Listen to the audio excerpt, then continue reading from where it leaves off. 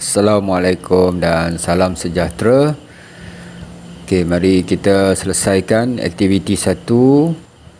Okey, nombor satu, Siti guna 13 cm ribbon untuk buat bunga ribbon pada pembaris di bawah. Lukis panjang ribbon itu. Okey, murid dikendaki mencari 13 cm. Ha, di mana? Okey, Dah jumpa kan ini adalah 13 cm. Kemudian murid gariskan daripada sifar ni sehinggalah ke 13. Okey, itu je.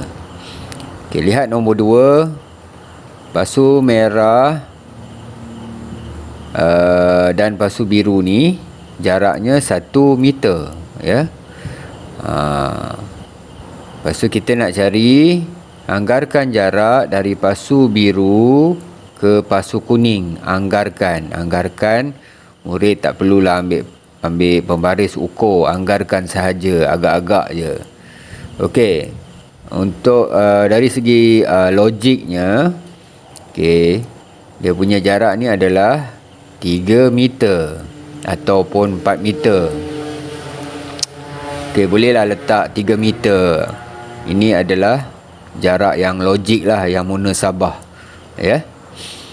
Okey nombor tiga. Okey tinggi saya 98 cm. Sui ya. Uh, Rizal pula kata saya lebih tinggi daripada sui. Uh, Vinod pula cakap tinggi saya 100 cm. Saya paling tinggi. Okey maknanya sui 98 cm kita nak cari tinggi Rizal ni ya. Vinod pula 100 cm bermakna ketinggian Rizal ni di tengah-tengah lah. Okay.